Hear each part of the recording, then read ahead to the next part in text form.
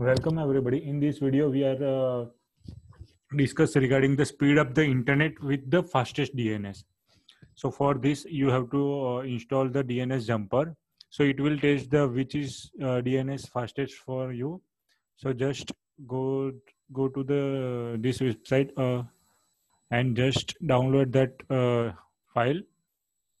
Click on download and after downloading, just open that file run a exe as a run, uh, administrator.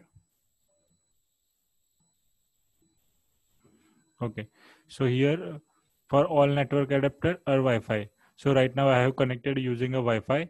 For uh, if you are connected through uh, another uh, network adapter, then uh, select as per your uh, configured network adapter, adapter. So right now I'm clicking the Wi-Fi adapter and just fastest DNS, start DNS test. So it's checking the result for a public DNS one, DNS two, and result.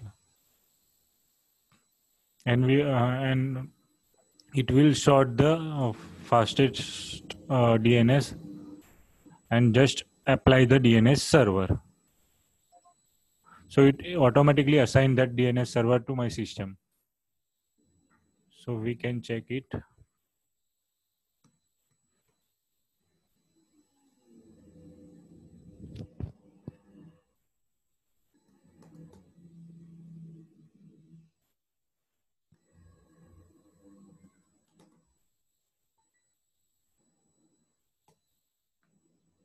here is our DNS server IP address.